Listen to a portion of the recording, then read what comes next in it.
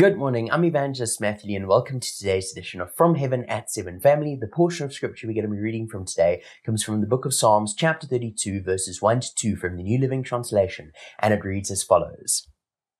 Oh, what joy for those whose disobedience is forgiven, whose sin is put out of sight. Yes, what joy for those whose record the Lord has cleared of guilt, whose lives are lived in complete honesty. Family, isn't that portion of scripture so true? And David is speaking about it here. And David was said to be a man after God's own heart, but that doesn't mean that he was perfect. The only perfect person who has ever lived is our Lord and Savior, Jesus Christ. David sinned. He slipped up. He made mistakes, but he was still called a man after God's own heart. And I believe his attitude is portrayed perfectly in the scripture in that when he sinned, he didn't just, you know, brush it off and be like, okay, cool, you know, whatever the Lord has forgiven me of my sins. No, he praised the Lord and he worshiped the Lord for it and he knew what the Lord had done for him by forgiving him of his sins. And we need to have the exact same attitude as David had, family. Otherwise, we start taking God's grace and God's forgiveness of our sins for granted. We start trampling on the blood of Jesus when we take his forgiveness for our sins for granted, that it's just something small that he's done for us, or, you know, that it's just something that's owed to us by God. Family, God owes us nothing at the end of the day. He is the creator of the universe and we are his creation. We are his children, yes, family, but he doesn't owe us anything. But because he loves us so much, he chooses to forgive us of our sins. And we must have the same kind of attitude as David had towards the, the forgiveness of our sins, that we must be grateful that he has forgiven us for the multitudes of sins that we've committed,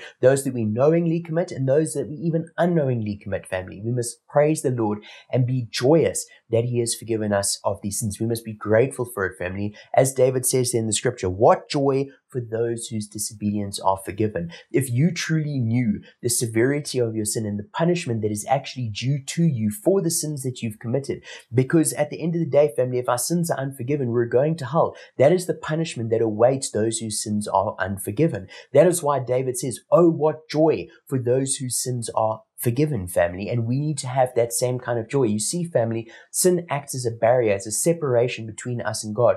God still loves us, but when we sin, it acts as a physical barrier. We down here on earth, God is up here, and our sin acts as a barrier. I like to sometimes say it as a cloud. You know, God is the sun, and we're chilling here on earth, and our sin acts as clouds. So even though we know that the sun is still there, because we can see the light around us and sometimes feel a bit of the warmth, our clouds the clouds, our sins stop us from having that direct line of sight with the sun and the sun being, like I said, God. So family, our sin acts as a barrier. And when it acts as a barrier, we're in a state of separation from God. And that's a dangerous place to be, family. But when the clouds are gone, when the sin is forgiven, we can see the sun, we can enjoy its warmth and all the vitamins and the wonderful things that the sun does for us and the environment around us, family. So this, it's important that that sin is forgiven because when that sin is forgiven and those clouds are washed away or dissolved away, family, we're in the presence of the Lord. And the Bible says where the presence of the Lord is, there is fullness of joy. There's fullness of joy for us who are in the presence of the Lord. And those who are in the presence of the Lord are walking in forgiveness of sins.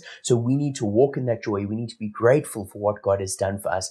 As David said there, he said, yes, what joy for those whose record the Lord has cleared of guilt. What joy for us, family, because we can walk in the joy and in the presence of the Lord. And lastly, it says there, whose lives are lived in complete honesty. And that's also an important part. Honesty. We need to be honest with the Lord, family. When we've sinned, we can't just brush it off and think, okay, you know, it's, it's okay. The Lord forgives me. No, we need to be honest with the Lord. Even though he knows about it, we need to come to him and say, Lord, I've sinned. Please forgive me. And the Bible says that if we, if we ask him to forgive us of our sins, he is faithful and just to forgive us of our sins and cleanse us of any and all unrighteousness. So I want you to do just that, family. I want to encourage you to do just that going forward, to walk in honesty with the Lord. When you sin, ask Him to forgive you and know that as He forgive, as you ask, He forgives you freely, family. And we can walk forward in that forgiveness. And as we walk forward in that forgiveness, we can walk in His presence. And as we walk in that presence, we can walk in the fullness of the joy of the Lord. And as we walk in the fullness of the joy of the Lord, we can praise the Lord, worship the Lord, and be thankful for all that He's done and for the sins that He's forgiven us for. Thank you, family. I hope that this message has blessed you and encouraged you. And before I end, I'd just like to close in prayer.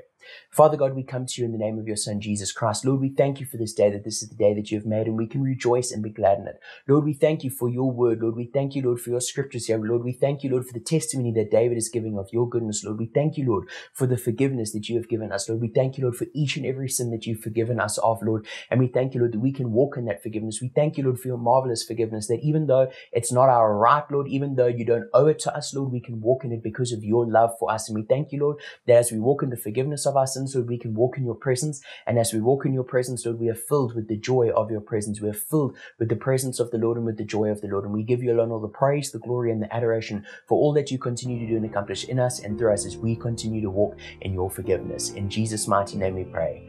Amen. Thanks for watching my video. I trust that the message blessed you and encouraged you. And if it did, I'd like to ask you to please hit the share button to spread this message and share it with your friends and family on social media so that they too may be blessed by this message. And before you leave, please give this video a thumbs up, drop a comment, let me know what you think about the contents of the video. And I'd like to invite you to please come back and join me for more episodes of From Heaven at 7, which premiere live every Monday to Friday at 7 a.m. Central African Time on my Facebook page as well as my YouTube channel, where the replays of the videos remain for those who are unable to watch the live premiere.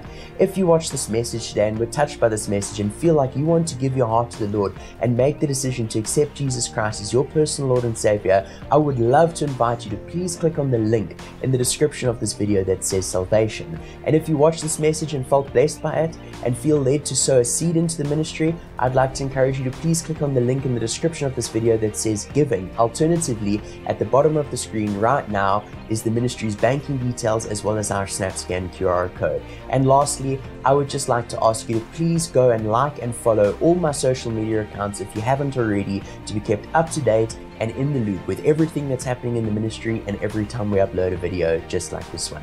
Thank you, family. Enjoy the rest of your day and God bless.